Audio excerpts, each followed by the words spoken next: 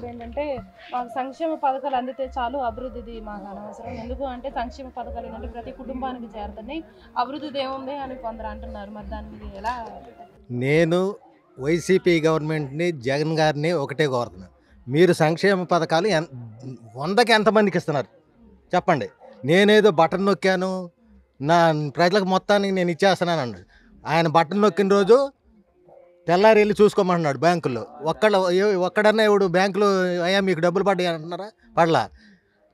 పడినా కానీ హండ్రెడ్ పర్సెంట్లో ఫార్టీ పర్సెంటే వస్తున్నాయి. చివరి దాకా అయినా సరే ఫార్టీ పర్సెంటే. సిక్స్టీ పర్సెంట్ జనానికి పేద పేదల వాళ్ళకి ఈ ఈ నవరత్నాలు అందట్లా.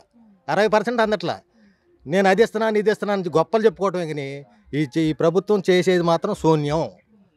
ప్లస్ గ- ఎవర ఎవరన్నా ఎవరన్నా ఏదన్నా చేస్తే. ఎవరన్నా ఏదన్నా ప్రశ్నిస్తే వాళ్ళని పోలీస్ స్టేషన్లో పెడతాం. ఈ నానా ఇబ్బందులు పెట్టాడు ఈ ఐదు సంవత్సరాలు. కా అది కూడా అది కూడా అది కూడా. ప్లస్ నేను ఒక చిన్న ఉదాహరణ చెబుతున్నా. మా ఊ మా వైకుంఠపురం గ్రామంలో వెంకటేశ్వర స్వామి టెంపుల్కి ఘాట్ రోడ్ వేశారు. నేను ఇది ఎమ్మెల్యే గారిని ఒకటే అడుగుతున్నా. నువ్వు నీ సొంత డబ్బులతో వేసావా? నువ్వు ఎందుకు ప్రచారం చేస్తున్నావు? నేను ఇచ్చే డబ్బులు లక్ష నూట పదార్లు నీ నీ నీ డబ్బులు అయ్యే. నువ్వు ఎందుకు వేసావు? నువ్వు ఎందుకు చెప్పుకుంటున్నావు ఇవాళ? నేను వేసానని. అది తప్పు. నువ్వు చేస్తే చెప్పు. ఏ నన్ను నేను కష్టపడి నేను రైతుని. నేను లక్ష వెయ్యి నూట పదార్లు ఇచ్చా.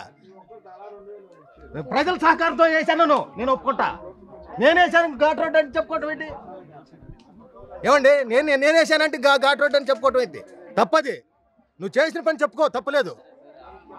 ఘాట్ రోడ్కి నేను లక్ష వెయ్యి నూట పదార్లు ఇచ్చా. నాకు ఎంత బాధ కొడుతుంది